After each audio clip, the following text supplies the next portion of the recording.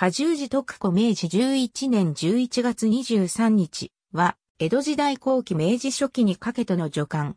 任皇天皇の天寺。陽明は時期、皆。号は、細い、剣天寺、正し天寺、新中納言天寺、新大天寺、富士大納言、京国。県大納言、加重寺常一の娘。母は、家女房。任皇天皇聖母、加重寺後姉にあたる。完成12年、姉の子が直君を産んだことから上老代として召されて宮中に入る。文化6年直君付上老となり、細いと号する。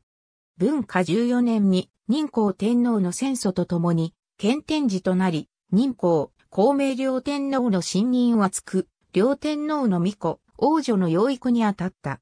安政4年に、新大天寺に進み、ついで文久2年に隠居した際には、十三味及び富士大納言の称号が与えられた。和宮効果問題が起きると、孔明天皇の意向を受けて、和宮の説得にあたり、御世話係として江戸城に入った。